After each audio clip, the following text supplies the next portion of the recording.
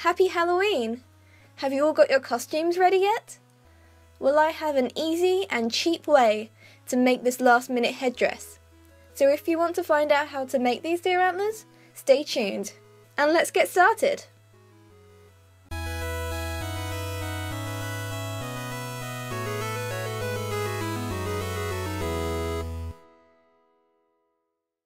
For this tutorial, you will need a headband, some masking tape,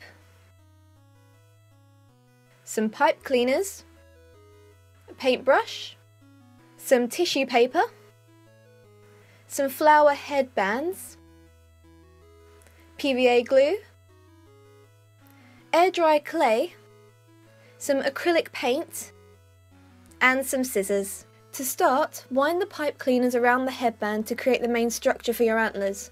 Then, if you want to, wind more pipe cleaners together for extra strength. Next, grab your masking tape and wind it around the pipe cleaners from bottom to top. The masking tape will lock the pipe cleaners in place, keeping the shapes that you made.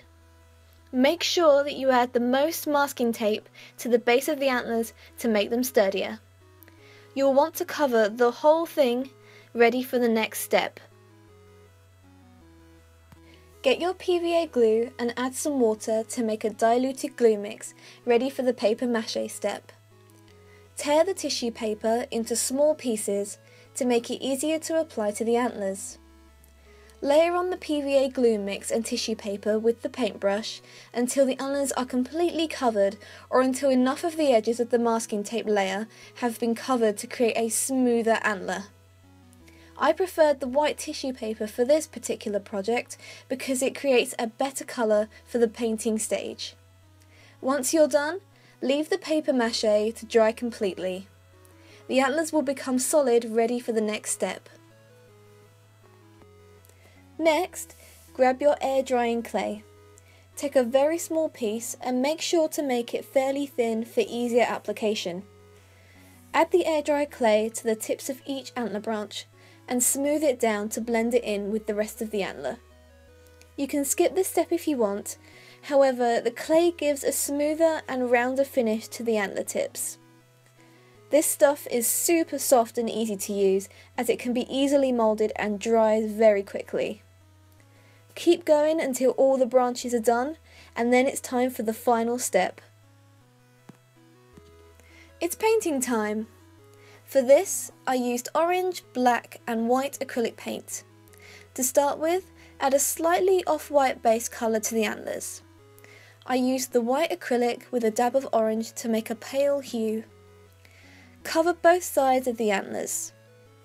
Next, we're going to build up colour. I want to add a nice gradient effect to this headdress. So in order to do that, I'm going to start with a dark brown. Mix the orange with the black paint to create a dark brown and apply to the bottom of the antler.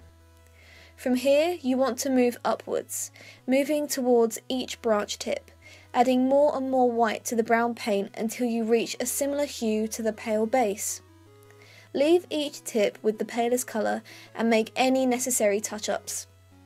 Repeat the same method to the other side and leave to dry.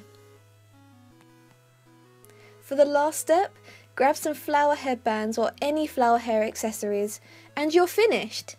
Now you can prance around a wooded area and pretend to be a fawn, or maybe just wear them at your next Halloween party. For the final look, I chose to wear this auburn wavy wig, but you can style this headdress with whatever hairstyle or accessories that you want. It's entirely up to you. Have fun with it. I also applied some casual fawn-like makeup, but you could even make this into a zombie deer or a druid creature. All the materials and products I used will be listed in the description below. I hope you all enjoyed this tutorial, and thanks so much for watching. Happy Halloween!